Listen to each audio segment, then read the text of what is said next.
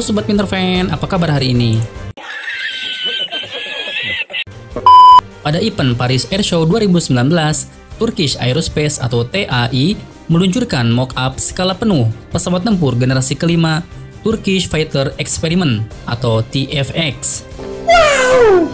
Mock-up TFX mungkin merupakan upaya oleh Turki untuk mengirim pesan ke Presiden Trump bahwa Turki tidak akan terintimidasi oleh sanksi terkait pembatalan pengiriman pesawat tempur Lockheed Martin F-35A menyusul keputusan Turki yang membeli sistem pertahanan udara S-400 Rusia.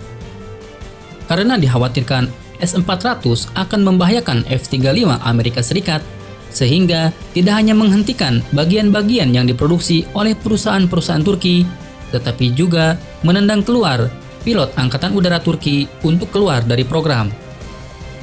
Sebelum lanjut video ini, pastikan Sobat Pinter Fan sudah subscribe channel ini.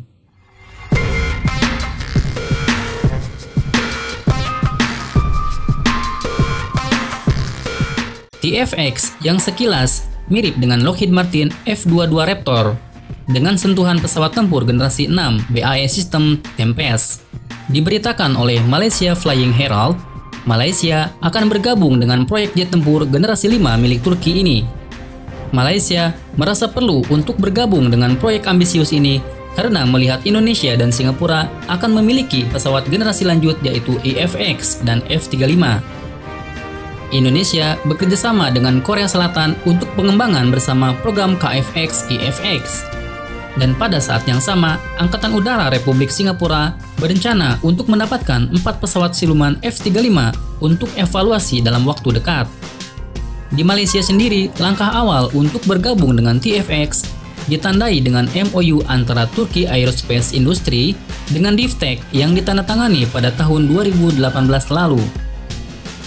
MOU itu akan menjadi dasar bagi Malaysia untuk mendapatkan TFX dalam 10 tahun ke depan. Dengan menjadi mitra dari TFX Turki, akan berarti Malaysia dapat menyeimbangkan dengan mitra Indonesia dan Singapura pada kualitas daripada kuantitas. Jika Malaysia berhasil bergabung, maka TFX akan menggantikan F-18D dan Sukhoi Su-30 MKM yang akan pensiun pada tahun 2035 dan tahun 2042. Seperti yang tercantum di situs TAI, TFX akan memiliki berat lepas landas maksimum 27.215 kg, panjang 19 meter, dan lebar sayap 12 meter.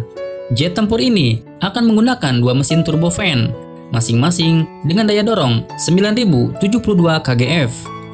Dari segi performa, TFX memiliki radius operasional lebih dari 1111 km dan layanan ketinggian di atas 16.764 meter atau sekitar 55.000 kaki Pesawat ini akan memiliki kecepatan maksimum 2 Mach. TAI belum menyebut berapa beban maksimal atau berat lepas landas dari TFX. TFX adalah jet tempur superioritas udara Next Generation Stealth yang dikembangkan oleh Turkish Aerospace Industries dengan bantuan teknologi dari SAAB. Bagaimana menurut Sobat Fan? Silahkan berkomentar di bawah video ini.